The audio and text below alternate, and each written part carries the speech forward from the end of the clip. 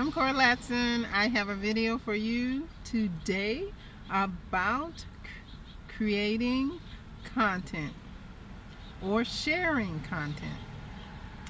And this video, I'm doing it because sometimes uh, you may not feel like sharing the content that you have learned with others because sometimes you know it just depends on the day depends on the time.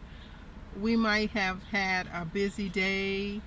We um we might think it's okay to just do you know a few times a week to share content.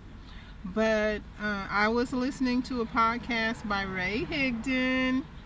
Thank you Ray Higdon. And I learned that it is very important to share content every day. If you want to be one of the top people in your in your area or in whatever you're doing, you share every day what you are learning. You listen to something, you read something, you share you do videos you do emails you do blog posts uh, you do whatever you normally do. And just a little tip videos are like the top because um, your audience gets to see you they get to hear you they get to learn who you are so, sharing your content, sharing knowledge, sharing value is so very important because the people that you attract want to see it every day. They may be looking for some, from some inspiration from you every day and until they get their own inspiration or their own motivation.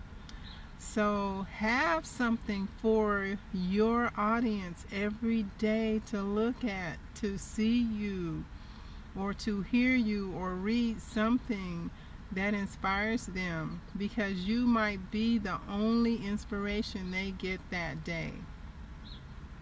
And that is what I wanted to share today. And I just think it's so important and I am just so happy that I can share with you today and I hope this helps you.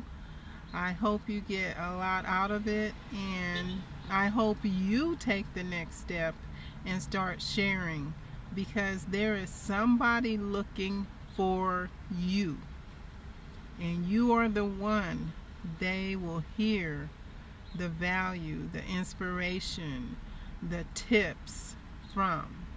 So start sharing content, start sharing tips with who with your audience today.